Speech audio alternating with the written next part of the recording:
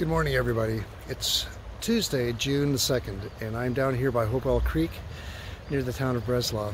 And this week we're looking at the Lord's Prayer. Yesterday we talked about God as Father, someone who is in relationship, one who is in heaven, who is able to see all, participate in all, and engage with all, and yet who remains separate because he is holy, separate from our sins, separate from those things which entrap us uh, not so that he is different than us, but rather that he can help us when we when we when we fail. Today, I'd like to talk on the next part of the of the Lord's Prayer. your kingdom come, your will be done on earth as it is in heaven. Kingdom, kingdom is more than just a place. It is a an, an ideology. It is something God is creating to represent who He is and what he desires his rule to look like. It is a place of intimate love. It is a place of extensional forgiveness. It is a place where wholeness can happen.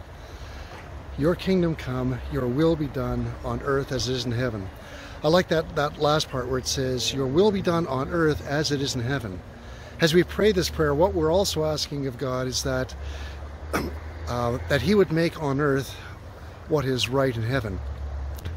And we realize that we are living in a very, very broken world where the people who are there to guard and protect use that power and position to do that which ultimately leads to more violence.